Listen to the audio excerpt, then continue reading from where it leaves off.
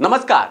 आप देख रहे हैं मोबाइल न्यूज़ 24 मैं हूँ अभिषेक कुमार और वक्त हो गया है आज दिन भर के बड़ी खबरों का। इस न्यूज़ बुलेटिन में हम आपके लिए लेकर आए हैं। पीएम मोदी ने दोहराया सबके लिए शौचालय का संकल्प। कोरोना वैक्सीन को लेकर अमेरिकी कंपनी ने किया बड़ा दावा। पड़ोसी देश नेपाल में शुरू हुआ सियासी घमासान। सीएम योगी आदित्यनाथ ने कांग्रेस पार्टी को घेरा। केंद्र सरकार ने सीजीएचएस कर्मियों को दी बड़ी राहत। इसके अलावा और भी कई काम की खबरें हम आपके लिए लेकर आए हैं, इसलिए इस न्यूज़ बुलेटिन को अंत तक ज़रूर देखिए।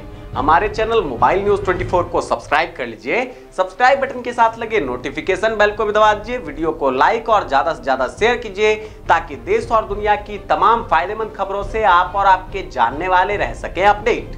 तो चलिए शुरू करते हैं।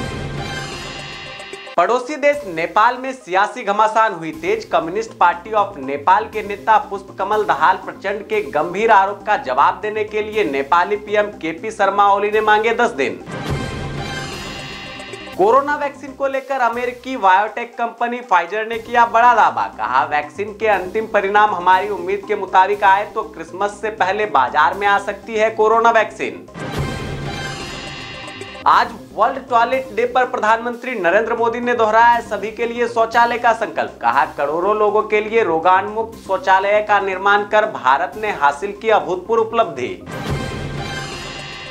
लॉन मोरेटेरियम मामले पर सुप्रीम कोर्ट में अगले सप्ताह तक के लिए टली सुनवाई। इस मामले पर कोर्ट की ओर से सुनाए जाने वाले फैसले का लोगों को है बेसब्री से इंतज़ार। केंद्र सरकार ने सीजीएचएस कर्मियों को दी बड़ी राहत। सीजीएचएस कर्मी अब पैनल वाले अस्पतालों में 31 मार्च तक मौजूदा रेटों पर करा सकेंगे इलाज।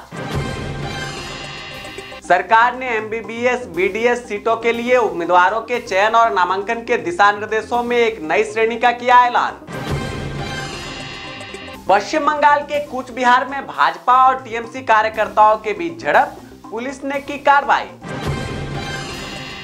सपा सांसद आज़म खान की जोहर यूनिवर्सिटी की ज़मीन योगी सरकार द्वारा जब्त किए जाने का मामला पहुँचा एससी। जोहर ट्रस्ट के अधिवक्ता ने कार्रवाई स्थगित करने की मांग करते हुए एक माह का मांगा समय। बिहार की नीतीश सरकार में शिक्षा मंत्री का पदभार ग्रहण करने के बाद शिक्षा मंत्री मेवालाल चौधरी ने दिया इस्तीफा। मेवालाल चौधरी पर विपक्ष ने लगाए थे भ्रष्टाचार के गंभीर आरोप। दिल्ली में कोरोना के बढ़ते मामले के बीच केजरीवाल सरकार ने लिया बड़ा फैसला। अब दिल्ली में मास्क न लगाने पर लगेगा दो हज़ार रूपए का फाइन। बिहार के सीएम नीतीश कुमार ने राज्यवासियों को दी महापर्व छठ की बधाई, लोगों से कोरोना से सतर्क रहने की की अपील। यूपी के सीएम योगी आदित्यनाथ ने कांग्रेस पार्टी को घेरा, कहा कश्मीर में अलगाववादियों का समर्थन कर रही है कांग्रेस। दिल्ली में लगातार बढ़ रहा वायु प्रदूषण। दिल्ली के आईटीओ और यमुना घाट पर बिछी स्मॉग की चादर। पंजाब, हरियाणा और चंडीगढ़ के पूर्व सैनिक को जारी हुआ वन रैंक वन पेंशन का दो करोड़ बकाया। पूर्व सैनिकों के चेहरे पर खिली मुस्कान। पटरी से उतर चुकी इकोनॉमी को मोदी सरकार के राहत पैकेज से मिली जान। रेटिंग एजेंसी मोदी ने चालू वित्त वर्ष में भारत के लिए वृद्धि को बढ़ाकर किया माइनस टेन पॉइंट छह प्रतिशत। आईसीआईसीआई बैंक ने लॉन्च की कार्ड रहित ईएमआई सुविधा ऐसा करने वाला बना देश का पहला बैंक। एक रिसर्च के मुताबिक रोज़ाना अंडे का सेवन डायबिटीज़ का खतरा बढ़ा सकता है। शोधकर्ताओं के मुताबिक अंडे का सेवन सीमित रूप से ही करना सही होता है।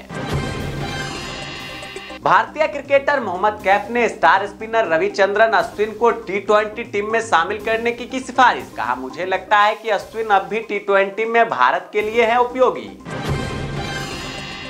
अभिनेता सुशांत के बारे में गलत जानकारी देने पर भर के अभिनेता अक्षय कुमार, फर्जी न्यूज़ चलाने के मामले में बिहार के एक यूट्यूबर को भेजा 500 करोड़ रुपए का मानहानि नोटिस।